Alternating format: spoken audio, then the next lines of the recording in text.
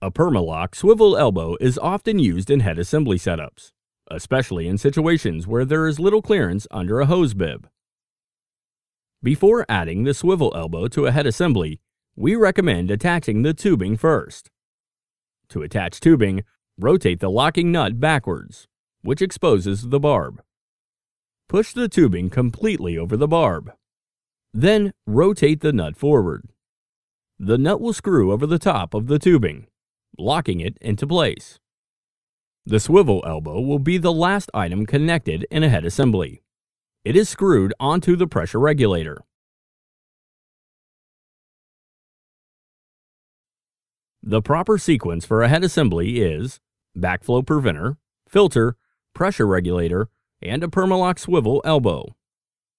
The swivel elbow is also useful if you would like to run your tubing up off the ground like when installing a drip system for hanging baskets. As you can see, this head assembly requires a lot less clearance than a standard inline head assembly.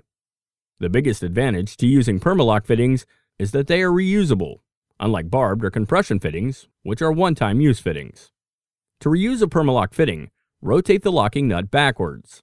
Then pull the tubing off of the barb. Once the tubing is removed, the fitting is ready to be reused wherever needed.